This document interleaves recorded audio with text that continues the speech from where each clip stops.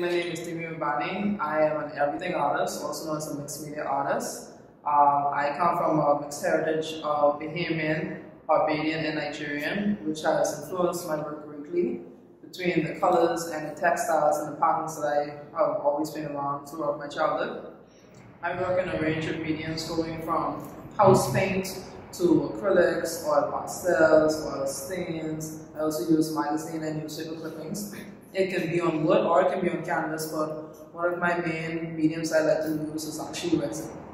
Resin just gives everything like a polished look to me. I also feel as if when it comes to the durability of keeping your artwork for years, resin is a good coating to keep it for your clients. I just think it looks, it makes everything look pretty.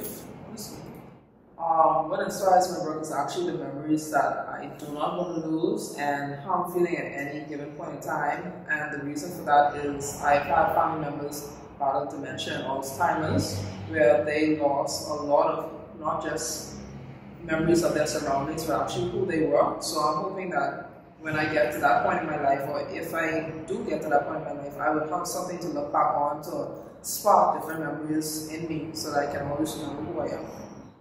The hardest part for me when it comes to creating a painting is actually being able to create for myself and not be so influenced or worried about what other people's expectations might be on my work or my craft.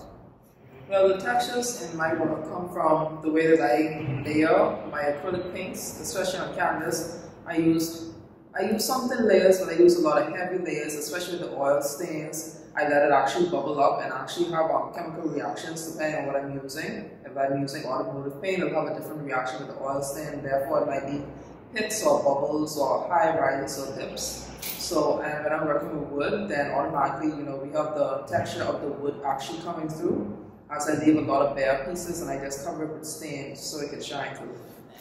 I can select color themes to a certain point, but not throughout the whole process. A lot of people have told me that I just how they don't understand how I put my colors together. I feel as if once it works, just as in things with nature, no plant chooses where they want to grow. If a purple plant grows here next to orange plant or blue plant, that's just how it is. So I feel as if colors can actually be the same way. And once they work, they work. Titles are very important to me because they actually allow the viewer to see my thought process and a lot of times what I portray on canvas probably won't resonate with the viewer or have any understanding.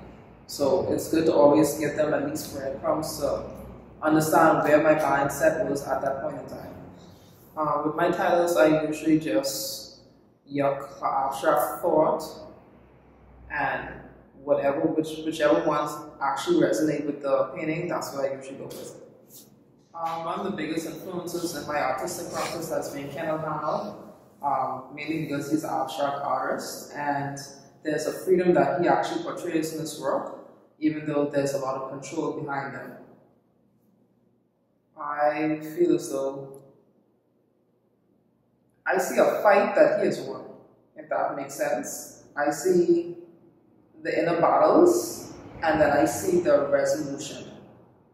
And I feel as if the resolution would be the finished painting that he comes up with.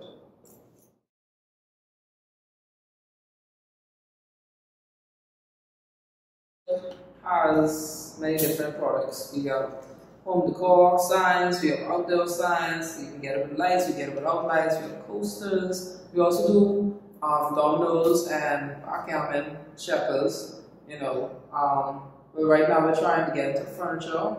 So we're starting off with tables and then we'll progress to outdoor types of furniture, but um, we also have cutting boards, you know, sushi boards, uh, anything you pretty much need for your house, I'm sure that we can discuss it and probably make it come to life.